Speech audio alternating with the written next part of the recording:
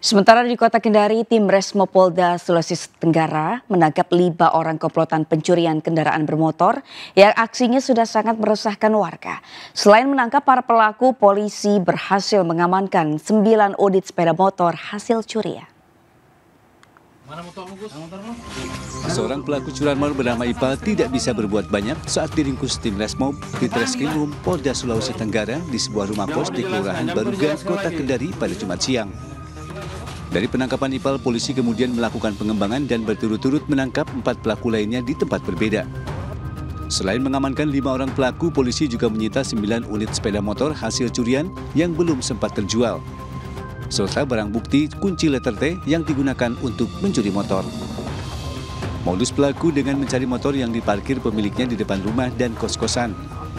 Lima pelaku yang merupakan residivis mengaku nekat kembali melancarkan pencurian karena terdesak kebutuhan ekonomi mengamankan lima orang pelaku dan ini dari keseluruhan lima orang ini adalah uh, residivis yang sudah berulang-ulang melakukan uh, tindak pidana pencurian kendaraan bermotor.